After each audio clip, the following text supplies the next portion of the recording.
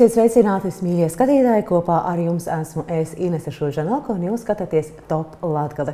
Daugavpils tā ir pilsēta, kur notiek daudz brīnišķīgas lietas, un šajā nedēļas nogalē arī e, iedzīvotājiem un viesiem bija iespēja baudīt kādu neparastu festivālu. E, tad bija notika piektais startautiskais vēsturiskās rekonstrukcijas festivāls Dinaburg 1812, un šajā sakarā tad viesos arī es aicināju Jāni Ostrovski, Daugavpils Daugavpils cietokšņa pārvaldnieku, jeb festivāla laikā, kā viņu arī sauc par cietokšņa komendantu. Labdien, Jāni! Labdien, labdien skatītāji! Nu, lūk, jā, nu mēs ar jums parunāsim šodien par tēmām gan tuvām, tepatās šeit, Daugavpils un apkārtni, gan arī dosimies Latvijas mērogā un varbūt arī tā diezgan plašāk patiesībā, nu, Eiropas Savienību paskatīsim. Bet šobrīd sākumā Daugavpils 100 sekundēs. Bijušais Daugopils mērs Rihards Eigims, kurš pilsētas domē ievēlēts no mūsu partijas saraksta, paziņojis par izstāšanos no Latvijas Zemnieku savienības. Taču vietējā nodaļā apgalvo, ka viņš no politiskā spēka izslēgts jau pirms vairākiem gadiem. Iesniegumu par politiskā spēka pamešanu politiķis esot uzrakstījis pirmdien, un šāds lēmums esot briedis jau sen savā Facebook kontā paziņojis Eigims.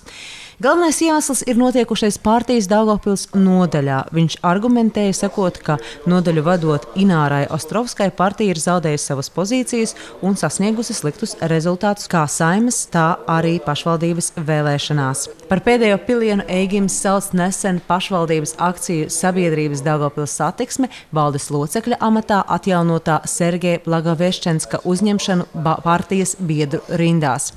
Savukārt Ostrovska aģentūrai Lēta klāstīja, ka Ēgims nav bijis nodaļas biedrs, turklāt arī no partijas izslēgts jau pirms vairākiem gadiem. Izslēgšanas iemesls viņa komentēt nemācēja, skaidrojot, ka tie zināmi partijas vadībai. Ostrovska uzskata, ka paziņojums par izstāšanos no Latvijas Zemnieku savienības tāpēc atpazīstamības veidošanai, jo politiķis zaudējot savas pozīcijas. Šā gada 10. augustā Ikšķils novedā dabas parkā Zilie kalni tiks pasludināti rezultāti balsojumā par jauniešu galvaspilsētu 2020. Uz godpilno nosaukumu pretendēja Daugavpils, Jēkabpils un Ventspils. Balsošana noslēdzās 23. jūlijā. Daugavpils ir saņēmusi 63% aptaujas dalībnieku balsis. Lai arī oficiālie rezultāti tiks paziņoti vien nākamēnes, Daugavpils pilsētas domes jaunatnes nodaļa savā mājaslapā iepriecina apmeklētājus ar šādu uzrakstu. Mēs to esam paveikuši. Daugavpils pilsēta ir uzvarējusi konkursa Latvijas jauniešu galvaspilsēta 2020 balsojumā. Paldies ikvienam atbalstītājam! Kopā mēs esam spēks! Šodien Daugopils Olimpiskā centra bāzē sākās futbola nometne jaunajiem sportistiem vecumā no 9 līdz 13 gadiem. Nometnē piedalīsies arī Spānijas līgas Granadas kluba sporta akadēmijas direktors Oskars Felipe Laralde. Ļoti interesanti nometne, kuras laikā ļoti daudz iegūs gan mūsu mazākie audzēkņi, jo tiks novadīts treniņu nodarbības četru dažādu vecumu mūsu bērniem, tiks sastādīts treniņu nodarbību grafiks, notiks eh, treniņi divreiz dienā, un visus šos trenerus faktiski vadīs eh, šis spāņu speciālists kopā ar eh, mūsu Daugavpils treneriem. Pēc katra no treniņiem notiks arī diskusija, kurās šis spāņu speciālists analizēs paveikto darbu, salīdzinās atšķirības tajā, kā notiek darbs, kā tiek organizēts treniņu process Spānijā un kā tiek organizēts pie mums. Un šis sarunas par šādu treniņu nometnu organizēšanu Daugopilī norisinājās jau vairāk nekā pusgadu. Un, uh, prieks, ka izdevās arī beigās vienoties par šādu nometnes veidu. Un, uh, ļoti būtiski ir tas, ka nākotnē tiek plānots, ka pateicoties šai nometnē mums izveidosies ciešāka sadarbība ar šo Spānijas uh, akadēmiju. Un, uh, mūsu bērni un treneri varēs turpmāk doties stažēties paši uz šo akadēmiju, lai iegūtu jaunu pieredzi. Spānijas speciālists ieradās pilsētā, lai vadītu nometni, kā arī vadītu semināru par futbola spēlētāju apmācības metodiku. Aprīlī tika slēgts līgums starp Daugopils Daugopils futbola skolu un Daugopils futbola centru par vienotas futbola akadēmijas izveidi. Futbola nometne tiek realizēta šī līguma ietvaros. Valsts policijas Latgales reģiona pārvaldes krimināla policisti ieguva informāciju par kādu vīrieti, kurš iespējams nelikumīgi glabā un pārvieto šaujumu ieroci. 22. jūlijā realizējot operatīvi iegūtu informāciju, aizdomās turamais tika aizturēts Dagopils pilsētas centrā. Veicot personu skratīšanu, vīrieša rokas somā konstatēts pistolē līdzīgs priekšmets, kas tika pielādēts ar divām patronām. Lai precīzi noteiktu konfiscētā priekšmeta izcelsme, ir nozīmēta ekspertīze. Jāpiebilst, ka aizturētais ir kāds 1981. gadā dzimušais vīrietis, kuram nebija likumā noteiktās kārtībā iegūtas atļaujas ieroču turēšanai, un kurš jau ir nonācis likumsargu redzeslokā. Vīrietis ir vairāk kārt tiesāts par bruņotām laupīšanām un citiem noziedzīgiem nodarījumiem. Pašlaik policijā turpinās izmeklēšana, ir nozīmētas nepieciešamās ekspertīzes un tiek skaidrota vīrieša saistība ar minēto noziedzīgo nodarījumu. 20. un 21. jūlijā Daugavpils cietoksnī norisinājās jubilejas starptautiskais vēsturiskās rekonstrukcijas festivāls Dinaburga 1812, kas tika organizēts jau piekto reizi. Ar ieroču zālēm un spraigā cīņā cietokšņa garnizons spēja atvairīt franču uzbrukumu. Nu jau piekto, nē, patiesībā jau sesto reizi. Uh, šeit es esmu, sēžu, tad, kā jau es teicu, ar Jāni, kas ir patiesībā nu, šīs idejas autors, vislielākais entuziasts un atbalstītājs. Varbūt sākšu no tāda jautājuma nedaudz no citas puses. No kurienes šī kaisle? No kurienes šī kaisle eh, katru gadu ieguldīties? Jo skaidrs, ka, lai tādu pasākumu uzorganizētu, tas nav vienas dienas darbs. Tas ir ļoti liels, smags, sarežģīts darbs. No kurienes jums šis trīdeksme? Eh, faktiski, nu, te vajadzētu skatīties jau tādā daudz senākā pagātnē. Eh, bija arī dzīvē tāds fakts, ka es Daugopils cietoksnē atrados no valsts puses. Pārstāvēju valsts nekustamos īpašumus. Un cietoksnis jau tad bija man tāds kā, laikam tā vide, kur man vienmēr gribēja atrast, gribējās atrasties un būt. Un tad, kad man pas, radās iespēja piedalīties pašvaldības konkursā uz cietokšņa pārvaldnieku amatu, es, godīgi sakot, nedomāju nevienu mirkli, to arī izmantoju. Uh, bija labvēlīgs rezultāts. Es arī nokļuvu par cietokšņu pārvaldnieku un burtiski sākot no 2014. gada. Mēs nodevām jaunus objektus. Tie bija Nikolai vārti, eh, autostāvvieta Daugavas ielā, pirmā krasta lunete ar kordegarda sēku. Un, protams, eh, lai tā svinīgums būtu attiecināms, mēs ļoti jauki eh, sadarbojamies ar Rīgas rekonstrukcijas klubu, kas brauca mums uz šiem atklāšanas pasākumiem, lika goda sardzes, eh, lika eh, šāva karavīrus zalves. Eh, cilvēkiem tas patika, un tas karavīrs, kas bija 1812. gada formā, iederējās vislabāk cietokšņa teritorijā. Un es vairāk kārt esmu apgalvojis, un arī šodien esmu gatavs to pateikt, ka viens cilvēks no Rīgas rekonstrukcija kluba, Igors Grahoļskis, ko es uzskatu par mūsu festivāla krustēvu, arī bija tas pamata iniciators, kurš vienmēr pēc kaut kāda pasākuma eh, teica ļoti vienkāršus vārdus, kā cietoksnī apģērbt formu un jau ir festivāls. Eh, arī pirmais festivāls tā arī notika, jo Eh, Grahoļska kungs mums atveda rekonstruktorus, kuriem mēs nemaksājām, jo mums budžeta nebija. Bet mēs redzējām skatītāju un cilvēku acīs, ka visiem tas patīk. Un līdz ar to sākām risināt jautājumus par normāla budžeta piesaisti, lai mēs varētu norganizēt normālu pasākumu.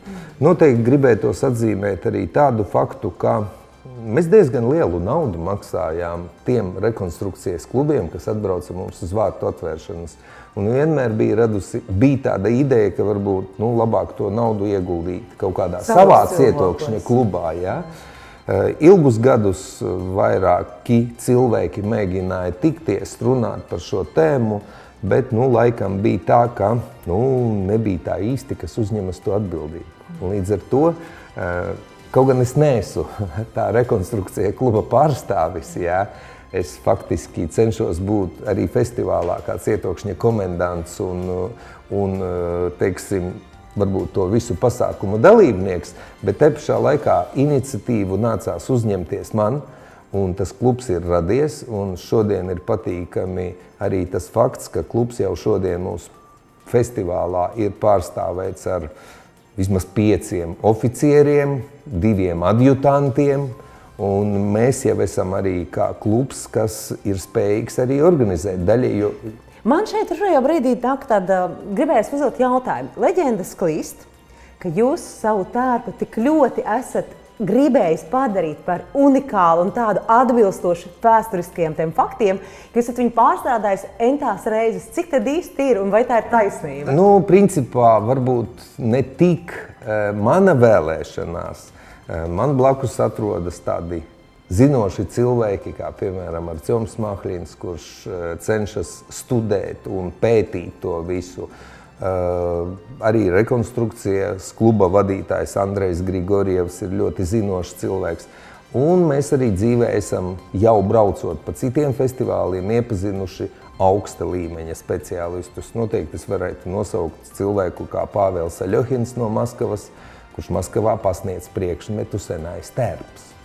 Un ņemot vērā viņu iebildes, Mans ikdienas kitelīts bija pāršūts trīs reizes jau, jo, diemžēl, eh, ir ļoti maz informācijas arhīvos tieši par Krievijas armijas karaspēka apģērbiem, jo, nu, pateicoties padomju varai, viss, kas bija saistīts ar Krievijas impēriju, arī no arhīviem tika iznīcināts. Nu, lūk, uh Brīnišķīga, brīnišķīgas lietas notiek Dārgopilī un gaidīsim nākamo festivālu. Bet šobrīd no tāda pozitīva, tāda pacelājuša temata uz nedaudz tādu skumjāku par to, kas ir, notiek mums tepat apkārt. Tātad Āfrikas cūku mēris Durbas novada zaļodzēs ir ievazāts. Latvijā atkal ir šī slimība. Nelielajā saimniecībā Durbas pagastā Vecpils novada Zaļodzēs, kurā šogad tika reģistrēts pirmais Āfrikas cūku mēra uzliesmojums, cūkas vīrusu acīm redzot varētu būt uzņēmušas tieši caur barību. Tā mūs informēja pārtikas un veterinārijā dienestā. E, cūku novietnē kopumā tika ievēroti biodrošības pasākumi un tie nevarētu būt par iemeslu cūku sāslimšanai. Latvijā pēdējais cūku mēra uzliesmojums bija konstatēts gandrīz pirms gada, pērnā gada augustā. Slimība ir ļoti bīstama un mājas novietnē, kur tā ir konstatēta, ir jānokauj viss ganāmpulks. Lūk, vēl maijā mēs priecājāmies, oficiāli bija veterinārais dienas ziņoja, viss Latvijā ir brīva no šīs sērgas, Tagad viņa ir atpakaļ. Un es domāju, mūsu skatītājiem, īpaši tie, kas ir saistīti ar lauksaimniecību, nu, tās ir diezgan skumjas ziņas, tāpēc, ka tas var nozīmēt, ka cilvēks var zaudēt visu ganāmpulku. Kas notiek? Mēs izskaužam vienu slimību, viņa nāk atpakaļ. Nu, pēc manām domām, protams, nav man liela zināšana veterinārijā, tā, bet es domāju, ka te eh, vissvarīgākais ir gan valsts iestādēm, gan pašiem iedzīvotājiem eh, pilnībā ievērot ar dažādā līmeņa sanitārām normām visu. Ja mēs, piemēram, esam cūku novietnēs, varbūt sakārtojuši to situāciju, līdz ar to, ja tiešām šai gadījumā ir mēris atkal atnācis ar pārtiku, tad mums trūkst kontroles pie ražotājiem. Jā, lūk, tiešām tas tā, nu, šajā gadījumā izskatās, ka cilvēki pat nav bijuši vainīgi, ka viņi tiešām pat ir ievērojuši noteikumus. Ražotājs ir iznīcinājis viņiem Tieši tā, es domāju, ka te ir ļoti būtisks jautājums, jo mēs visi saprotam, ka bizness ir bizness, un varbūt nevienmēr tiek ievēroti arī ražotājiem visāda līmeņa normatīvi, var kaut kādas sastāvdaļas iegūt no dažādām arī citām valstīm, kur ir kaut kas bīstams, tātad trūkst laikam tādas kontroles, kas notiek tieši ražošanā. Un, ja mēs spēsim sakārtot varbūt arī visas tās nozares, kuras saistītas ar slimību, mums būs varbūt rezultāts. Biznesa ir biznesa un kontrole. Tas arī nedaudz sasaistas ar mūsu nākamo tēmu. Lūk, Rērs rosina dienesta pārbaudi pret vidi ģenerāla direktori un netiek izslēgta jaunzemes nomaiņa. Par to tālāk. Finanšu ministrs Jānis Rērs ir ierosinājis dienesta pārbaudi pret vidu ģenerāla direktoru Ievu Jaunzemi par viņas izteikumiem medijos un saimnes budžeta komisijā. Liecina TV3 ziņu rīcībā esošā informācija pārbaude pret Jaunzemi ierosināta jau 27. jūnijā un ir jau izveidota īpaša pārbaudes komisija.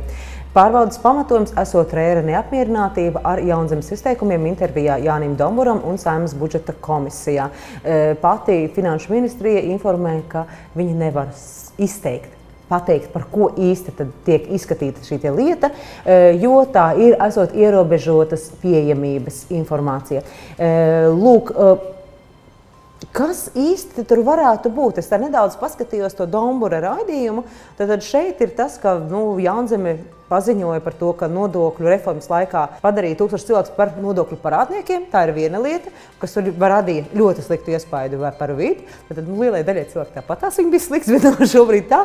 Un vēl ir tas, ka mm, viens no tādiem izteikumiem, kas man likās tāds skaļš, bija tas, ka, nu, ka viņi pateica, ka Finanšu ministrija darba grupa, kas izvērtē reformu, un mēģina novērst trūkumus, bet Vīts nemaz tajā darba grupā nav uzaicināts. Vai šīs varētu būt tās iemesls? Es domāju, ka nu, daļēji, protams, ka tas varētu būt tas iemesls, bet te pašā laikā uh, es nedomāju, ka jebkāda līmeņa reformas, uh, kuras mēģina mūsu valsts ieviest, un es domāju, ka Jaunzemes kundze kā cilvēks, kas tikko ir uzsācis darbu un kuram uh, ir ļoti daudz uzdevumu. Uh, mēģina to, jo jebkurš cilvēks, kas veiks kaut kādas reformas, vienalga atradīsies pretinieki, vienalga atradīsies uh, teiksim, pretējās puses, kuram tas nepatiks. Un es domāju, diezgan būtiski šai faktorā jau arī strādā tas variants, ka ka, ka noteikti kaut kam tas nepatīk. Bet te pašā laikā gribas atzīmēt, ka, nu, jā, paldies Dievam, es nebiju tajā sarakstā, kurš bija palicis valstī parādā. Man es noteikti biju labajā pusē, jo man diezgan daudz pārskaitīja valsts gada beigās vēl man. Jā. Tas bija dziļš pārsteigums. Es tā īsti nesapratu, par ko. Bet te pašā laikā, cik es zinu, ir ļoti daudzas valstis, kur tas ir norma un tā tas notiek. Gada beigās cilvēki jau ir pieraduši pie tā, ka kāds paliek parādā, kādam valsts atgriež. Un uh, vienkārši šī, šai reformai, nu, protams, ka noteikti ir arī kļūdas tai pašā sistēmā. Es domāju, ka problēma arī bija ar to, ka informācijas daudz, pārāk bija maz, un cilvēki vienkārši bija šokā. Viņi nebija sagatavoti. Protams, ka cilvēki negaidīja. Ka tāds daudzums, protams, ir cilvēki, kuriem varbūt tur ir tie ir santīmi, bet ir arī cilvēki, kuriem ir simti un tūkstoši. Ja? Līdz ar to eh, informācijas trūkums tas bija pirmais un svarīgākais jautājums, kāpēc cilvēki bija dziļāk. Man bija tāda iespēja tikties ar Jaunzemes kundzi, strādājot kā žurnālistei pie cita, citā projektā. Tur arī bija tā, ar viņu tikties tieši pāris dienas pirms viņa stājās amatā. Viena no viņas tām lietām viņa tieši gribēja, ka viņa grib būt gan tuvāk saviem darbiniekiem, nevis būt atsevišķā stāvā, bet sēdēt tur kabinetā blakus. Viņa grib pārvērst vidu par tādu konsultatīvu, atbalstošu, draudzīgu iestādi. Nu, šobrīd vēl mēs to īsti nejūtam. Es ļoti ceru, ka tomēr kādreiz tiešām ieņēmuma dienas būs atbalstošs, nevis, nevis tāds nu, iznīcinošs. Uh, nu, es kaut gan strādāju pašvaldībā, un, un, un pirms tam es, man ir bijušas arī savas firmas, un, un, un, un nedaudz biznesā es arī kaut ko saprotu. Es domāju, ka valstī mums ir pienācis tas brīdis, kad mums ir jāpārstāj ieslēgt Excelu tikai plusu sistēmā. Ja? Jo brīžiem rodas jautājumi, kā, vai tiešām mēs nespējam analizēt arī citādāk. Un es piedāvātu valsts ieņēmumu dienestam uh, nākt pie uzņēmējiem un varbūt vairāk uzklausīt viņus. Tikai viena iemesla pēc, ka jo stingrākus nodokļus mēs uzliekam, jo uzņēmējs sāk pretdarbību. Bet, ja starp uzņēmēju un valsti tiks panākts dialogs eh, tieši tajā jomā, kā izdzīvot abiem, jo valstī ir tiešām jāiekasē, uzņēmējiem ir jāstrādā, jāmaksā algas un jāmaksā nodokļus. Un tikai panākot dialogu uh, savā starpā, es domāju, tas rezultāts var būt. Algas, atalgojumi par to nākamajā tēmā. Valsts kancelēs direktors paziņoja, ka zemais atalgojums valsts pārvaldē liedz piesaistīt izcilības. Valsts kancelēju gan kritizē kontr valsts kontrole, eh, sakot, ka tiek izmantots pārāk daudz piemaksu, ka to apmērs ir relatīvi liels, gan arī katrs darbinieks saņem piemaksu, bet citas alternatīvas nesot, ja ilgi, tātad kopš 2010. gada, nav pārskatīta mēneša alga. Valsts kancelē vēlas panākt, lai valsts pārvaldē atalgojums būtu 80% no līdz līdzīgas pozīcijas amata privātajā sektorā. Uh, nu, lūk, Vēlāk arī tas Citkovskis pats arī paziņoja, ka viņš pieņemsim pēdējos divus gadus, kopš viņš strādā valsts kancelējā. Viņš ir izgājis daudziem konkursiem cauri. Tas trakākais ir tas, ka nav, nav tas pieplūdums, ka viņš skatās, cik daudz ir tādu nu, izcilu kandidātu, no kuriem izvēlēties. Saka, labākajā gadījumā izcils ir viens. Bet parasti ir jāizvēlas no divām, trijām viduvējībām, jo vienkārši tas atalgojums nav konkrēti spējīgs, lai piesaistītu valsts darbam cilvēkus, kuri nu, ir spējīgi strādāt, bet tas nav viņa par mazu.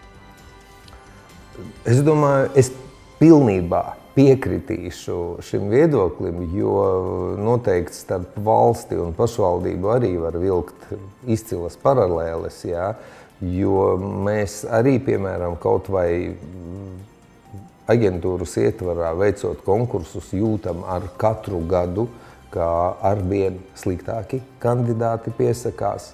Uh, jo laikam nu, tas, tas, tas iemesls mums ir prasības diezgan augstas kandidātam, un te pašā gadījumā mēs atalgojumu spējam piedāvāt to, ko spējam. Un, ja mums bija kaut kādos pirmsākumos, vēl gadi, trīs, četri atpakaļ, kad mēs nezinājām no izciliem pieciem kandidātiem, kuru izvēlēties, šodien mums ir diezgan būtiska situācija, ka mēs redzam, ka starp pāri palikušajiem diviem kandidātiem mums pat it kā grūti piedāvāt kādam. Ja? Jo tiešām tas ir acīm redzami.